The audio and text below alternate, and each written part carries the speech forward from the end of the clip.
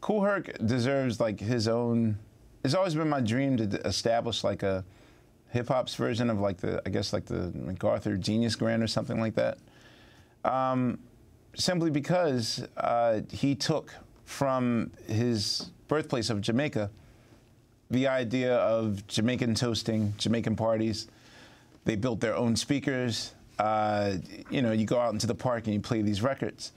Um, and he took that idea and just reapplied them to uh, soul records, and more specifically, a lot of obscure soul records that were ignored, um, but had a special element to them that seemed to be the, the favorite, which was basically the, the drum break, the idea of giving the drummer some, which you don't take a solo, you just let the drummer play the break for eight bars, you know.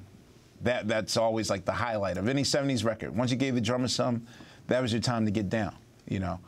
Um, that was the most part, exciting part of the song. And, you know, for him uh, to take that technology and that idea and, and bring it to the masses, you know, not only Kool Herc, but also African Bambaataa, who, you know, Kool Herc is known for the Herculoids, the idea of, of large speakers, because he comes from Jamaica. They, they built their own, you know, crates, their own woofers, their own tweeters, and have the loudest speaker systems ever.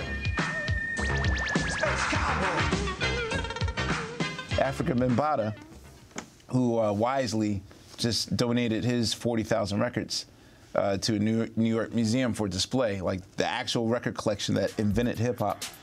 Um, you know, he was more or less known for his obscure selections.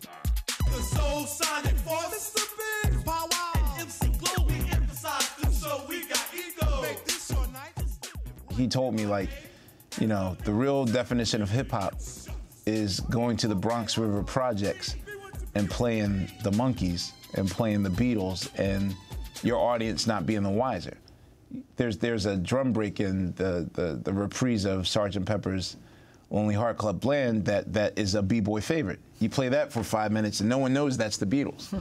you play Mary Mary by the Monkees. No one knows that that's the Monkees. They just see it as that's a great drum break to dance to.